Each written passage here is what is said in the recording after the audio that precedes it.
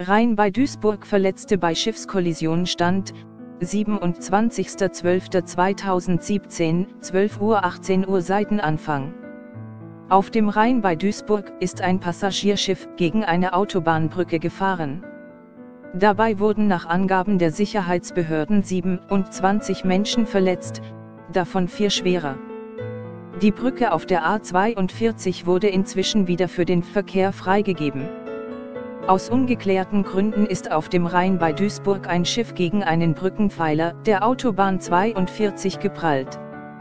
Dabei wurden nach offiziellen Angaben 23 Menschen leicht verletzt, vier weitere mussten mit schwereren Verletzungen in ein Krankenhaus gebracht werden. Lebensgefahr bestand nicht, wie ein Polizeisprecher sagte.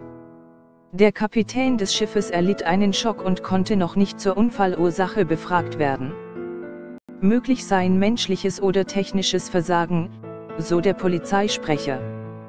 Der Brückenpfeiler sei beleuchtet, die Sicht klar gewesen. Alle Schiffe seien mit einem Radargerät ausgestattet, das allerdings nur bei Nebel benutzt werden müsse.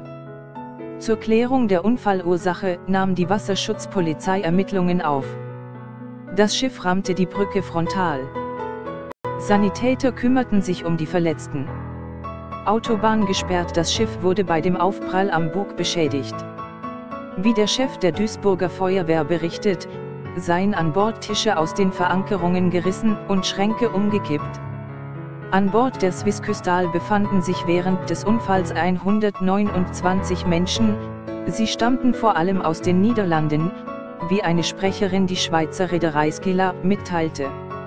Ein zufällig vorbeikommendes Passagierschiff kam der havarierten Swiss Crystal zu Hilfe und nahm die Passagiere an Bord. Alle Passagiere, auch die zunächst behandelten